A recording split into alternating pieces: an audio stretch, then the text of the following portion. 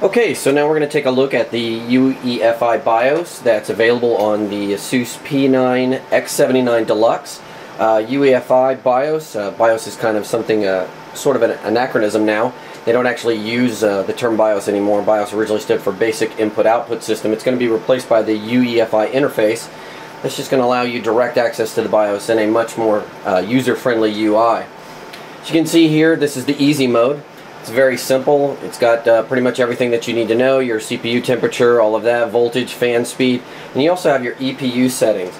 Uh, power saving is going to give you the best benefit. It's going to have a slight undervoltage to the CPU. It's not going to change the CPU itself as far as the processing power, except for within the limits of what Intel already does with SpeedStep along those lines. Um, it's going to, again, it's going to reduce the system noise by turning fans off and also give you the best power performance uh, that, that out of the board. Uh, normal is the one where you kind of have a general. It's going to be the best overall. It's pretty much your static or your normal settings. Um, the ASUS Optimal is also uh, called the T-Probe mode, which is going to give you uh, basic overclock, probably about out to 4.3 gigahertz. It's not going to change any voltage IDs or anything like that. It's just going to give you a, a, basic overclock to give you the most performance out of the system. You're going to lose a little bit of the of that energy savings that you get from some of the other ones, and of course your fans are going to turn on because they're going to need to uh, work a little harder to make sure everything is cool. Now down below here you also have your different boot priorities that you can click directly from and get straight into the system, boot straight to the hard drive, boot to the DVD. Then you also have some shortcut menus. Uh, if you hit the F3 key, you can go directly to any one of these straight from the easy mode.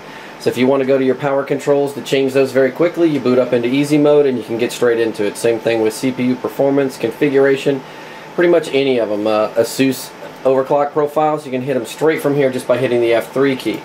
The F8 button gives you your boot up menu. You can actually choose which one you want to go to straight from inside the BIOS, which is kind of nice.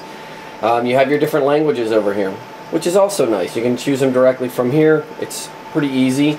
It's very clean. The other thing you might notice is that the mouse movements are very fluid. Uh, this is not always the case with some of the other BIOSes as there's a bit of a lag when you try and transition these mouse and keyboard inputs directly into the system. Now if you do want to have a little bit of that extra control and, and get really deep into the, to tuning your system, you can just click over to advanced mode. That's going to be very familiar territory. It's going to look a lot like the BIOS that you're used to, back when it was Award and uh, Phoenix and also AMI.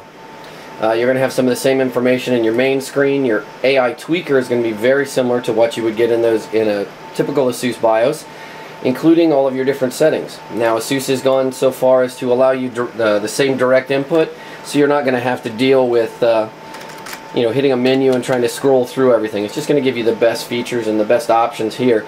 The same thing with your uh, your turbo ratio, all of that. Moving down, you go through your OC tuner, which OC tuner is just going to give you a quick overclock, very similar to what you get from the fast mode uh, if you're using the AI Suite II. Uh, you have your DRAM timing control here. Now these numbers here are actually limited by the memory that we're using. This is not saying what ASUS is picked out. Um, it's just based on the XMP profile that's in the memory and it's going to limit that inside there for safety's sake. These were set when we ran our extreme overclocking, which again got us to about 4.3 gigahertz. And these were set there to get us the best performance at the memory speed that was picked, which was 1320, uh, 1325 megahertz. Going back into the rest of the BIOS here, you can see we have our DigiPlus power control. Here we have some settings that we've set up for our static overclock, which got us out to 4.7 gigahertz. That was uh, that's actually a record for the CPU that we have. Our previous best overclock was actually just a little bit over 4.5 gigahertz. These you have your CPU current capability, your VC CSA load line, your current capability for that, CPU voltage frequency, which you can change, move around, CPU spe spread spectrum. Pretty much all of the same ones that you would normally see in in your older BIOSes. They're just a little bit cleaner here. Uh, again, you have your options here, turbo mode parameters, uh, is turbo mode enabled, disabled, all of that. It's just going to pop up. You have your all of your voltage settings are here, very easy to see. Color profiles are nice in that they're not overbearing, they don't change so much that they're difficult to read. With the exception of the warning colors, the yellow here is a little bit hard to read at first glance, especially if you're staring straight at it. Like right now, it's, it's kind of difficult to pick out what we've got here. And then you move down all the way into your uh, data and your control voltages for your different channels for memory. Uh, again, CPU spread spectrum and PCIe spread spectrum. those are kind of nice if you're running at stock frequencies, but once you start to overclock, the fact that they're spreading the spectrum out in order to prevent crosstalk sort of negates some of the benefits of overclocking and you end up with uh, a little bit of stability issues.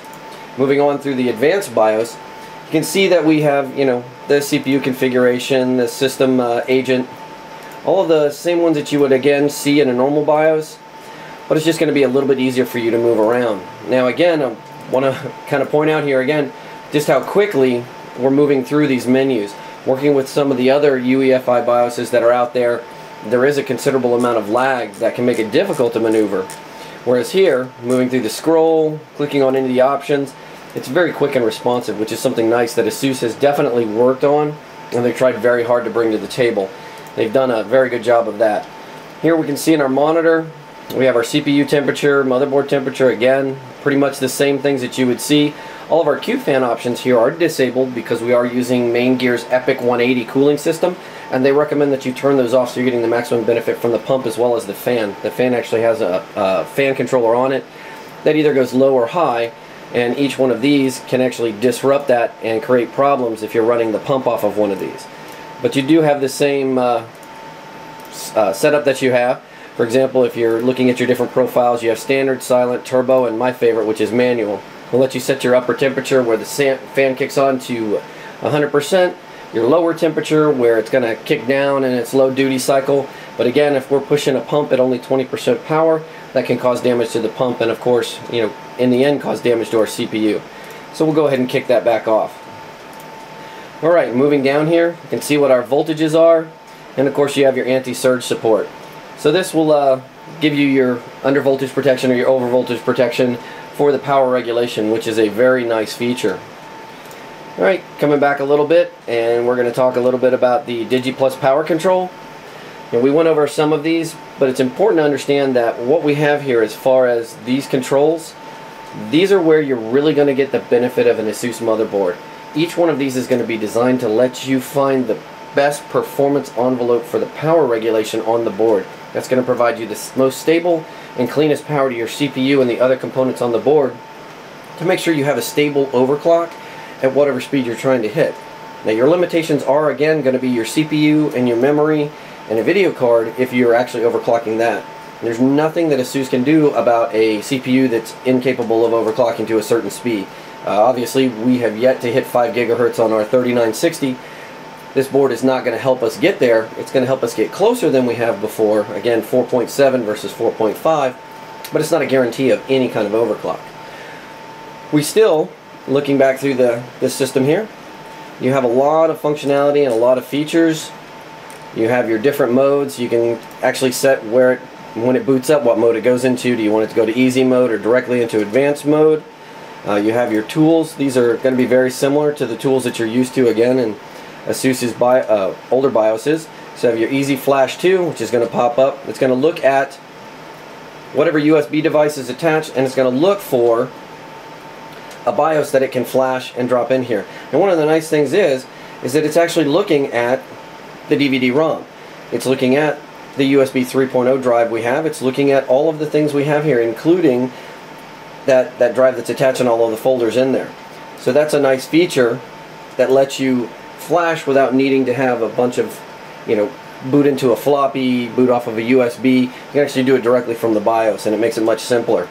And ASUS actually has an additional feature, which we'll talk about a little later, which is the, uh, the USB BIOS flash.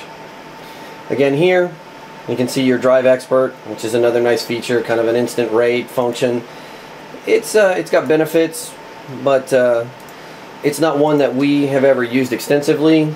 It's pretty much just you know kind of a if you want to get a quick RAID set up without having to do anything or build drivers or build a RAID array, you can do it straight here from the straight from the BIOS here, and it gets you in quickly. Well, that about covers what we've got here for the uh, ASUS UEFI BIOS utility in our advanced mode here.